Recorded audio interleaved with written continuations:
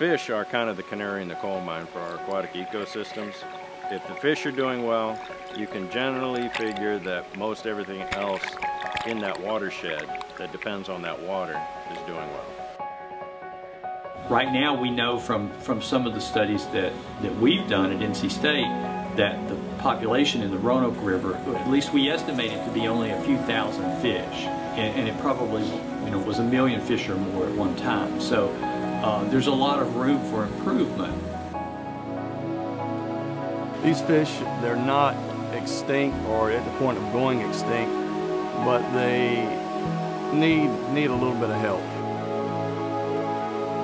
The restoration program for American shad is based on several different strategies. One is uh, to bring brood fish, adult brood fish, into the hatcheries to produce young fry that can be stocked back into the rivers. The hope is that that will contribute to larger populations down the road.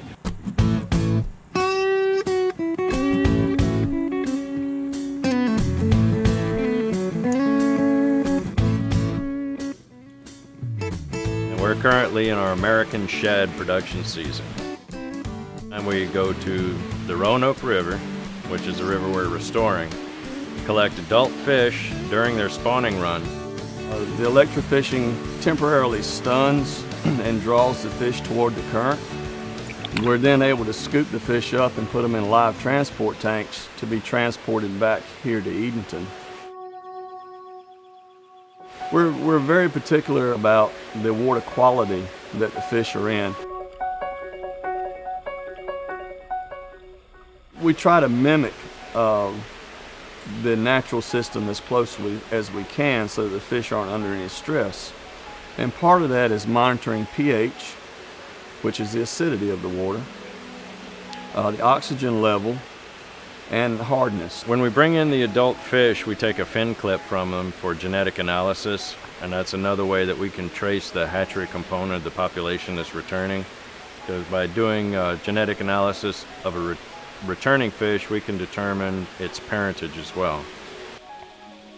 Bring them back to the hatchery, put them in circular tanks, and Generally, over the periods of darkness, usually around midnight to 2 in the morning, the fish will spawn in the tanks.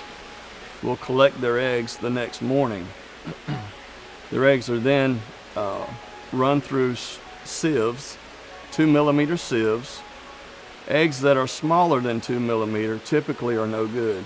We want to know how many of these eggs are eggs that are going to hatch or how many of these eggs may not hatch because we want to put accurate numbers in our river system so that the biologists, when they're doing their research on the rivers, they can assess how many fish are being put in properly.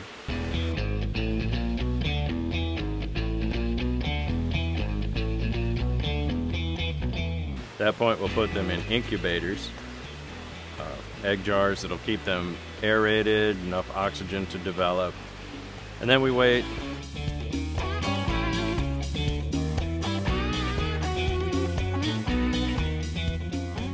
Once they hatch, they go into uh, circular rearing tanks that are about three feet in diameter. We feed them a diet of newly hatched brine shrimp.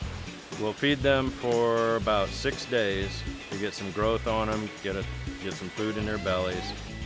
Last year we stocked just under 4 million fry into the river and we got that from about 6 million eggs.